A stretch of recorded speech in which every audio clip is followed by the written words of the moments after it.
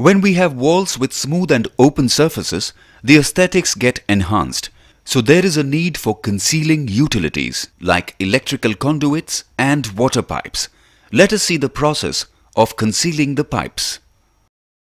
Concealed pipes are laid by making grooves in the masonry in which the pipes are embedded. To begin with, the necessary service points like taps, showers, switches, etc. are marked on the wall. The parts of the service lines are then marked for grooving. The cutting tool, which is a disc blade rotating at high speed, is slowly run on the marked lines to a depth of 4 to 6 millimeters more than the diameter of the pipes. The grooves are made by slowly chipping off the masonry with mild chiseling. The pipes are then fixed into the grooves and are held in place by using nails.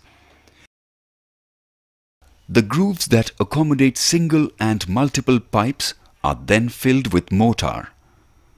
This mortar is made of one part of cement and four parts of sand and is applied in the groove over the pipes to thoroughly pack the space between the pipes and the wall.